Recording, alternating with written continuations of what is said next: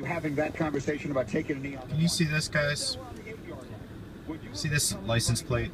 Ed's girl. That is like one of the most, like the worst license plate I could ever see. And here's why. Unless there's Ed that's driving that car and his little Ford Focus is his girl. That is the most misogynistic, like, license plate I've ever seen. Like,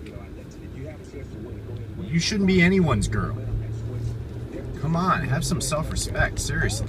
My point is, if my daughter or my wife ever felt like they belonged to me or they had to say that they belonged to me, I'm not doing a good job. I, I, I mean, like, come on, seriously, have some self respect. You don't belong to anyone, you're your own woman.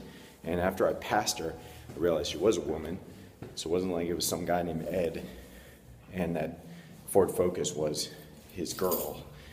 Come on, like, I don't even care if your dad bought you that car. It's, it's horrible.